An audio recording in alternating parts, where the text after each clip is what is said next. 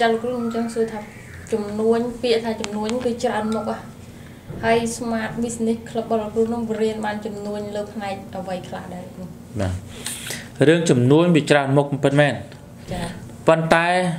ពុំណាវាអត់មានច្រើនទេពុំអត់មានច្រើនទេដូចម៉ែឪមានតែ2ទេចុះការកូនមាន7 2ទៅ10មិនកូនមួយម៉ែឪ2កូនមួយម៉ែឪ2ណា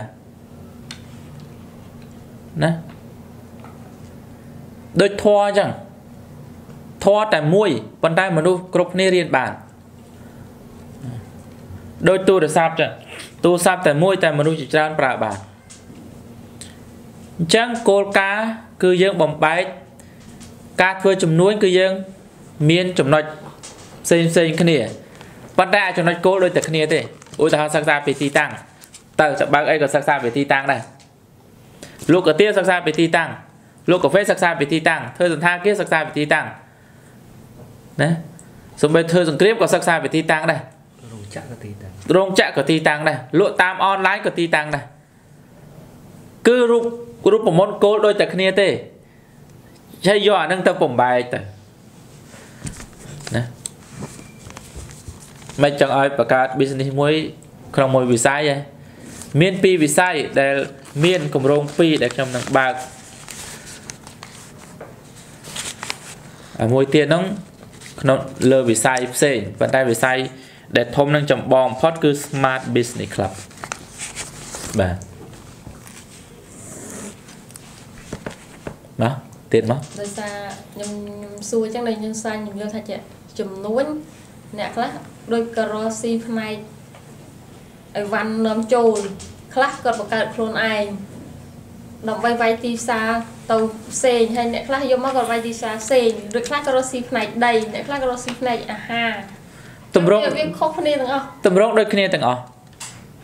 ឥឡូវយើងថាយើងនាំយើងនាំតំណែងយើងនាំតំណែងពីបរទេសចូលមកលក់នៅស្រុកខ្មែរចាណាអូខេវាគ្រាន់តែខុសគ្នាត្រង់ថាបើយើងផលិតនៅស្រុកយើង យើងតែរៀបចំរោងចក្រសង្វាក់ផលិតកម្មចាគ្រាន់តែអានោះយើងកាត់អាផលិតកម្មហ្នឹងចេញទៅគ្រាន់តែបញ្ជាទិញមកហើយបានហើយយកមករៀបចំអីទៀតយកមករៀបចំ work flow ក្នុងការធ្វើឲ្យការងារហ្នឹងមានចរន្តមានការបដិខ្លាគ្នា មានចរន្តការងារនៅក្នុងអាជីវកម្មចាប់ពី work flow ទៅ cash flow យុទ្ធសាស្ត្រ ស្រូបលុយឬក៏យុទ្ធសាស្ត្រទីផ្សារហើយអាយុទ្ធសាស្ត្រទីផ្សារហ្នឹងមានអីខ្លះគឺដូចតែគ្នាទាំងអស់រៀបចំយុទ្ធសាស្ត្រទីផ្សារមកដូចគ្នាទាំងអស់អឺគោលវាដូចគ្នាទាំងអស់គ្រាន់តែយើងជ្រើសរើសយកយុទ្ធសាស្ត្រមួយណាខ្លះយក network ខ្លះមិនយក network ខ្លះយកតាម online ខ្លះខ្លះយក offline ដូចតែគ្នាទេរូបមន្តហ្នឹងក្នុងការធ្វើចំនួនណាមានតែរកស៊ីផ្លូវងងឹត ងឹតវាបិទភ្លើងរូបមន្តសម្ងាត់អាហ្នឹងរូបមន្តសម្ងាត់ប៉ុន្តែរូបមន្តសម្ងាត់ហ្នឹងវាដូចតែគ្នាទេឬអាឬអតិថិជនគោលដៅដូចតែគ្នាហ្នឹងចឹងខ្ញុំមានទំនួលមួយទៀតចង់សួរថាចេះពាក់ព័ន្ធមួយហើយពេលដែលយើងចូលជាសមាជិក Smart Business Club ហ្នឹងឧទាហរណ៍ថាខ្ញុំមានចំនួនមួយហើយចំនួនខ្ញុំហ្នឹងវាអត់ដំណើរការអញ្ចឹងការជួបជុំហ្នឹងមានន័យថាយើងជួបជុំគ្នាដើម្បីរកយុទ្ធសាស្ត្រដោះស្រាយចំនួនរបស់ខ្ញុំហ្នឹងឬក៏មិន ទីមួយយើងផ្ដល់ចំណេះដឹងទៅដល់សមាជិកយើងចា៎ឲ្យគាត់ចេះទៅព្យាបាលចំនួនគាត់ដោយខ្លួនឯងចា៎ទៅព្យាបាលឬក៏ទៅសម្លាប់អញ្ចឹងណាបើសិនជាគាត់ដឹងថាក្បួននៃការធ្វើចំនួនមួយ វាត្រូវអនុលោមទៅតាមគោលការណ៍10ចំណុចនេះដល់គាត់ទៅពិចារណាទៅអត់ឃើញទៅពិចារណាយកអាចំណុចមេរៀនហ្នឹងទៅគូបគងជាមួយនឹងចំនួនរបស់គាត់ទៅវាអត់ត្រូវវាអត់គ្រប់វាអត់គ្រប់មានន័យថាចំនួនគាត់ធ្វើអត់ត្រូវទេ មានតែសម្លាប់ចោលបើមិនចឹងទេចំណាយតែលុយចោលហ្នឹងឯងឧទាហរណ៍ថាពាក្យថាអាជីវកម្មពាក្យថាផលិតផលផលិតផលហ្នឹងគឺគេត្រូវមានចំណុចធ្វើរឿងឲ្យត្រឹមត្រូវផលិតផលត្រូវមនុស្សផលិតផលត្រូវវេលាផលិតផលសមតម្លៃណាហើយចុះបើសិនឧទាហរណ៍ថាយើងបើកអាជីវកម្មមួយមនុស្សនៅក្នុងតំបន់ហ្នឹងមានលុយត្រឹមតែ មួយខែគាត់មានលុយត្រឹមតែ500ដុល្លារទេប៉ុន្តែយើងទៅលក់ផលិតផលដល់ទៅ1លានដុល្លារសួរថាអ្នកណាទៅជួយសង្គ្រោះបានត្រូវតែលក់ចេញមួយវិញទៀតចំណាយនៅក្នុងកាយវិឡាយរបស់យើងក្នុងមួយខែអស់ដល់ទៅ30000ដុល្លារចំណាយប្រតិបត្តិការប៉ុន្តែអតិថិជននៅទីហ្នឹងមានត្រឹមតែ100នាក់ដែលអាចរកចំណូលបានត្រឹមតែ10000ដុល្លារទេណា អញ្ចឹងយើងទៅកែខៃធ្វើមិនទៀតអត់បានទេសម្រាប់វាចោល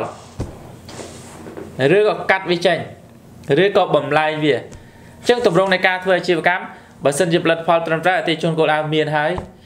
អត់បញ្ហាទេយើងកែការគ្រប់គ្រងកាយយុទ្ធសាស្ត្របានតែបើសិនជាផលិតផលនឹងមិនសមមិនត្រឹមមិនត្រូវអត់កើតទេឧទាហរណ៍អាម៉ាស៊ីន print យើងមួយអាម៉ាស៊ីន print ដែលគេនាំពីបរទេសមកលក់ គេគិតថាអូលក់ដាច់ចែកវិជាទំនើបបជាអូស្រាប់យកមកអត់មានអ្នកចេះប្រើបច្ចេកវិទ្យានឹងផងអញ្ចឹងបើអត់មានអ្នកណាចេះប្រើយើងលក់មិនដាច់អហើយមួយទៀតយើងចង់ទៅយកសម្លេងអនាម័យយកទៅលក់ឲ្យនគរប្រុសលវោលក់ដាច់ដែរលក់នំហើយ អេសលេជូតមាត់លក់លក់បានប៉ុន្តែទៅសលេអនាម័យយកទៅលក់អញ្ចឹងមានន័យថាផលិតផលវាខុសអតិថិជនវាអត់សមមនុស្សហើយយើងចង់ទៅកែខៃយើងចង់ទៅសង្គ្រោះមិនណាតើតើកែអាសលេអនាម័យហ្នឹងឲ្យទៅជាសលេជូតមាត់វិញចាស់ជីវកម្មខ្លះមិនមែនតែសង្គ្រោះទេណាកាត់ចោលនៅសំកម្មទៅអីវាដូចជំងឺក្នុងខ្លួនយើងអញ្ចឹងណាបើមើលទៅ សាច់យើងម្ដុំកន្លែងនេះបើវាជាដំបៅធម្មតាយើងព្យាបាលជាយើងព្យាបាលតែបើវាជាមហារីកកាត់ចោលកាត់ចោលដើម្បីអានេះរស់នេះជីវកម្មខ្លះងាប់3 4ឆ្នាំហើយយើងអត់ដឹងទេចំណូលខ្លះវាបានមកតិចតិចតិចតិចតិចយើងអត់ដឹងទេចំណូលខ្លះបានមកលើសពីការចំណាយយើងអត់ដឹងទេប៉ុន្តែវាតិចជាងការចំណាយសោះទិញផលិតផលមកដល់20ម៉ឺនដុល្លារ ហើយស្រាប់ទៅលក់វិញបានអឺមួយថ្ងៃ10000ដុល្លារគិតថាស្មានណាស្មានថាផលិតផលនេះទិញមកមួយមួយអឺ1ដុល្លារលក់វិញបាន2ដុល្លារក៏គិតថាចំណេញពាក់កណ្ដាលហ៎អញ្ចឹងមួយខែលក់បាន10000គិតថាចំណេញ5000ណាហើយក៏ចាយតែការពិតចំណេញតែ1000សោះអញ្ចឹងអាជីវកម្មខ្លះងាប់3ឆ្នាំហើយប៉ុន្តែអត់តដាច់ខ្យល់ទៅវាអត់តស្អុយហ៎អញ្ចឹងអត់ដឹងអត់ដឹងមនុស្សចេះនៅបន្តបន្តទៀតអញ្ចឹងយើងទៅជួយសង្គ្រោះយើងមើលថាតើអាជីវកម្មនឹងសង្គ្រោះបានឬក៏អត់ចឹងទី1សមាជិកនឹងមានចំណេះដឹងក្នុងការមើលដោយខ្លួនឯងសង្គ្រោះដោយខ្លួនឯងទី2សមាជិកនឹងយកអាជីវកម្មរបស់ខ្លួនមកប្រកាសថាលក់នឹងមានគេចុះទៅទិញ ក្រុមរបស់យើងមានអ្នកមានលុយច្រើនច្រើនគេចុះទៅទិញគេអាចទិញជួនកាលខ្វះតែការគ្រប់គ្រងទេជួនកាលអាជីវកម្មខ្លះឧទាហរណ៍ថាអឺអ្វីៗល្អទាំងអស់លក់ដាច់ទាំងអស់ប៉ុន្តែទីតាំងវាតូចចង្អៀតហើយម្ចាស់អាជីវកម្មនោះអត់មានលុយទិញដីមកនៅជាប់ហ្នឹងឯងហើយអត់អត់មាន credit ក្នុងការខ្ចីលុយទិញដីមកជាប់ជាប់ទិញឲ្យជាប់នឹងបានមកកន្លែងចតធំទូលាយអូខេទាំងអស់អញ្ចឹងគេសិក្សាទៅឃើញគេដាក់លុយទិញអាជីវកម្មហ្នឹងឲ្យទិញទិញដីទិញអាជីវកម្មយកតែម្ដងវាមានតម្រង់វាមានចំណុចវាមានបែបបត់ជាច្រើនយើងនឹងយល់ដោយខ្លួនឯងយើងមួយផ្នែកធំហើយហើយនឹងមានក្រុមជួយមើលមួយផ្នែកធំទៀតហើយនឹងមានអ្នកអ្នកសង្គ្រោះហ្នឹងមាន អ្នកសង្គ្រោះអ្នកមានលុយប៉ុន្តែសង្គ្រោះហ្នឹងធម្មតាគេទៅសង្គ្រោះយើងអត់បានចំណេញទេឧទាហរណ៍យើងជាប់បំណុលគេផ្ទះហ្នឹងលក់100000ផ្ទះហ្នឹងតម្លៃ100000ជាប់បំណុលគេ គេទៅទិញហ្នឹងវាអាចថាក្រោម100000 90000 30000អញ្ចឹងយើងពឹងលើចំណេះដឹងរបស់យើងសង្គ្រោះយើងជាចម្បង ហើយបន្តមកទៀតក្រុមរបស់យើង ជួយសង្គ្រោះហើយបន្តមកទៀតក្រុមដុតខ្មោចមានន័យថា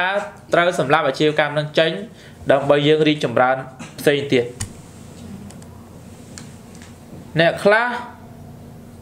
គាត់ត្រាំត្រែងមក3ឆ្នាំហើយដល់យើងមើលទៅត្រាំត្រែងទៅអីបិទចោលគាត់បិទចោលតែមួយខែទេ អ្វីអ្វីស្រស់ថ្លាទាំងអស់មុខរីកទាំងអស់សម្រស់កើតឡើងមានតំណែងតំណងក្នុងគ្រួសារឡើងវិញហើយគាត់ចាប់ផ្ដើមបាននៅតែទុច្ចរិតយើងមិនអាចជួយបានទេណាហើយតាំងពីជំនាន់ណាក៏ដូចជំនាន់ណាដែរក្នុងសាសនាក៏អញ្ចឹងដែរมันអាចស្អីស្អីសក្បោះទាំងអស់ ឬក៏มันអាចស្អីស្អីល្អទាំងអស់ទេបាទណាការចង់បានអញ្ចឹងវាខុសវាខុសគោលដាក់វាខុសគោលការណ៍ធម្មជាតិដែរបាទខ្ញុំចង់ភ្ជាប់សំណួរទៀតបង